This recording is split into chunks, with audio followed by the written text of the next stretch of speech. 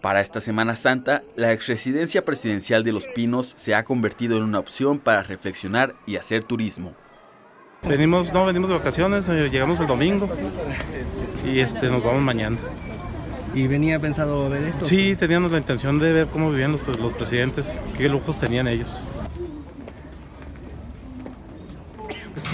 Estoy eh, teniendo la oportunidad de visitar este recinto de Los Pinos, el cual fue abierto por instrucciones del actual presidente Andrés de la Madrid, digo, este Andrés López Obrador.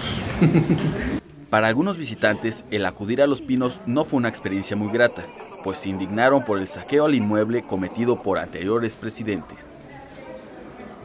Sí, o sea, si yo esto lo platico, lo que acabo de ver y sigue viniendo la gente, somos masoquistas, o sea, estamos viendo, venimos nada más a enojarnos por lo que hicieron.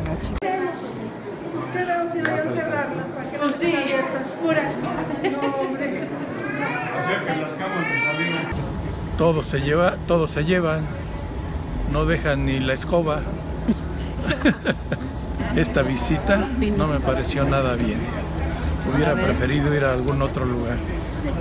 Será porque, como dice Obrador, está embrujado.